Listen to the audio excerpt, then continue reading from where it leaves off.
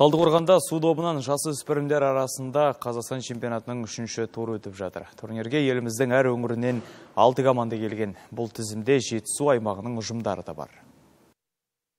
Талдықорғанда су добынан Қазақстан біріншілігі жоғары деңгейде ұйымдастырылып отыр. Орталық бассейнде барлық жағдай жасалған. Спорттық шараға Жамбыл, Қарағанды, Батыс Қазақстан, Атырау облыстары мен Астана, Семей қалаларының құрамалары келген. Барлық 12 жасқа дейінгі ватерполшылармен жасақталған. Бұл тізімде Жетісу облысының да командасы қатысып жатыр.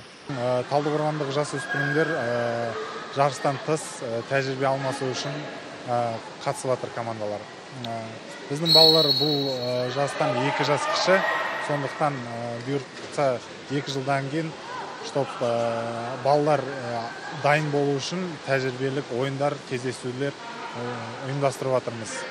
Қазір бұйыртса осы үшінші тур предфинальный тур деп аталады. Бұл жарыста балғын су добы шеберлері жақсы дайындықпен келген. Әсіресе астана құрама командасының өнері көз қуантады. Елордалықтар қарсыластарын кезегімен жеңіп жатыр. Олардың басты мақсаты биыл да ел чемпионы атану. Астана командасы енді ол оның арасында чемпион қазақстан чемпион жүлдегері бар. Сонда кішкене более опытный екі үш жылға кейбір облыстар жаңа болғаннан кейін бір екі үш топ ұтып келе жатады көбінесе фаворит болса басты қарсыласы астананың тараз уральск орал қаласы.